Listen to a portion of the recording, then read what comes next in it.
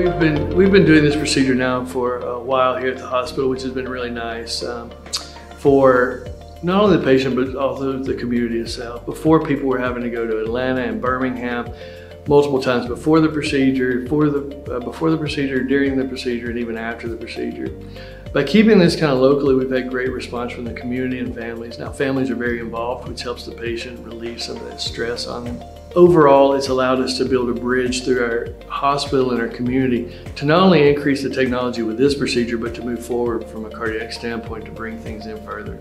The TAVR procedure stands for Transcatheter Aortic Valve Replacement, TAVR. And traditionally, uh, cardiac surgeons would, would have replaced the valve, specifically the aortic valve, doing an open chest, open heart surgery.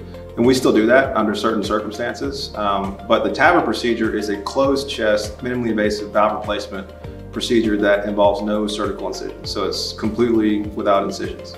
Uh, very similar to a heart cath, we do needle punctures in the groin to get access and we implant the valve going through the groin instead of having to open the chest. The whole process of having a TAVR, of having a TAVR procedure, um, it starts weeks in advance. So the patient gets referred to us either from their primary care physician or the primary cardiologist, or they can come to us directly without a referral from, from our perspective. If you have a valve problem or you're worried about it, if you have a murmur, we can see those patients here at the Heart Valve Center. Uh, if you get diagnosed with aortic stenosis, uh, usually it's with an echocardiogram. So most patients, by the time they get to us, have an echocardiogram. Or if they don't, we get one pretty quickly. So that's how we see the valve and make the diagnosis. We've tried to make it very seamless and easy for not only patients, but also for referring providers. And that is even on the day of the procedure. So a patient would come in for the procedure where they'll go to get ready for that procedure, be prepped. They'll see a very familiar face, which is our valve coordinator, so they can ask questions, they feel more comfortable. And then they're moved to a room that is very much like a catheterization suite that they're already used to. We utilize here in our anesthesia team to not only make the patient sleepy and comfortable, but also provide a very safe environment for the patient and us for this procedure. By the time they wake up, the valve has been implanted. All they have is a small band-aid on their wrist, two little spots on their groin, and by that evening we have them walking. The procedure itself, it relieves the obstruction which causes their symptoms, which has slowed them down, usually for a long period of time before uh, we do the procedure itself. Afterwards, the whole purpose of the procedure is to relieve that obstruction, therefore getting them back to their quality of life, decreasing the risk of, of death long term simply by relieving the obstruction. So overall, the patient should return to everything they were doing prior to the valve becoming an issue in a relatively short amount of time post-procedure. Most patients after the TAVR procedure, they wake up, not all the time, but most of the time, they wake up and can immediately tell a difference. Uh, the heart's been used to by this time, usually by the time they show up to us for weeks to months, the heart has been overworking itself to try to get blood past this calcified, unmobile, immobile valve. Um, and so once you replace the valve and give it a normal functioning valve, the heart, the blood flow makes it out of the heart just fine. And most patients can tell as soon as they wake up. Um, we see patients one week after the procedure and most of the time when they come to us before the procedure, they've been saying things like, I can't make it to the mailbox without having shortness of breath. I can't make it in my own house without having to take breaks from shortness of breath. Um, I used to could play golf and now I can't make it past the first two or three holes anymore.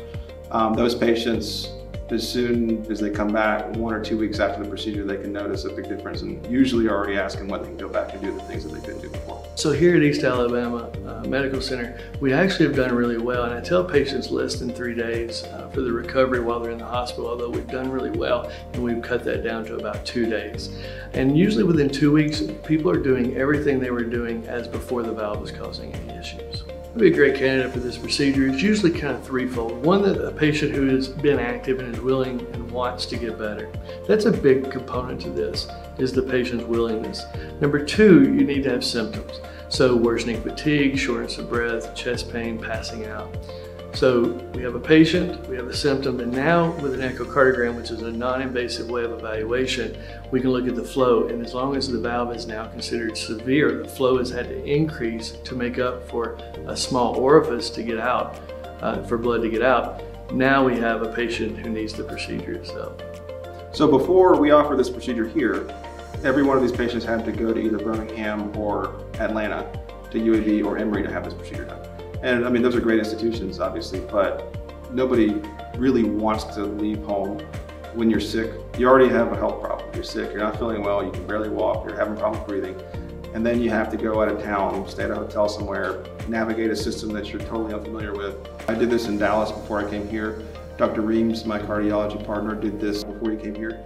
And so we're, we're still in the process of making the community aware and working out our processes here in the hospital. Uh, but those are our goals also. It's very important that we brought this procedure to East Alabama to the community, not only to allow patients and families to be a big part of it, but also to grow as a hospital itself, to allow those advancements for things to come that we are allowed to do here and to make it very safe and streamlined. Therefore, patients no longer have to go far and abroad to have their services.